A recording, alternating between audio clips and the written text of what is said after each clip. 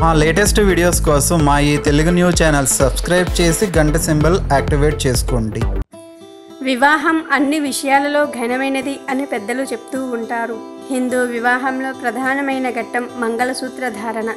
తాలిలో రెండు బిల్లలు ఉంటాయి. వాటిని తాలిబొట్టు అని పిలుస్తారు. కానీ చాలామందికి తాలిలో రెండు బిల్లలు ఎందుకు ఉంటాయో తెలియదు. హిందూ సాంప్రదాయంలో చేసే ప్రతి కార్యానికి అర్థం పరమార్థం ఉంటుంది.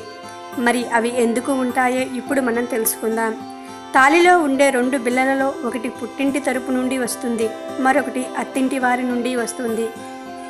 ఇరు కుటుంబాల తరపున తాలిలో రెండు బిళ్ళలు ఉంటాయి. ఒకవేళ ఒక బిళ్ళ వేసుకుంటే అది అహంకారానికి పొగరుకు సూచికగా చెప్తారు. అలాగే తాలిబొట్టుకు అందరూ నమస్కారం చేసి దీవించిన తరువాత స్త్రీ మెడలో వేస్తారు. ముందుగా వీటిని వేరువేరుగా చేస్తారు. ఆ తరువాత గౌరీ పూజ జరిపించి ముత్తైదుల దీవెనలతో ఈ రెండింటిని మెడలో ధరింప చేస్తారు.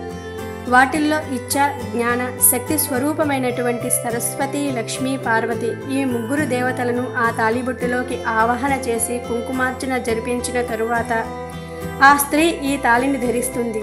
ఈ ముగ్గురు దేవతలను కలిపి ధరించి ఆ స్త్రీ శక్తి స్వరూపిణి అవుతుంది. కావున స్త్రీతో జాగ్రత్తగా వ్యవహరించాలని లోకంలో ఉన్న వారందరికీ తెలియచేయట కూడా ఒక కారణం. మెడలో ఈ తాలిబొట్టు ధరించటంలో ఉన్న పరమార్థం. క్లుప్తంగా చెప్పాలంటే తాలిలో ఉండే రెండు బిల్లలు ఒకటి పుట్టింటి వారిది మరొకటి అత్తింటి వారి తరపు నుండి వస్తుంది. ఇరు కుటుంబాల గౌరవాన్ని కాపాడే విధంగా ఆ స్త్రీ ఉండాలి. వీడియో నచ్చితే లైక్ చేయండి షేర్ చేయండి. బట్ సబ్స్క్రైబ్ చేసుకోవడం మర్చిపోవద్దు.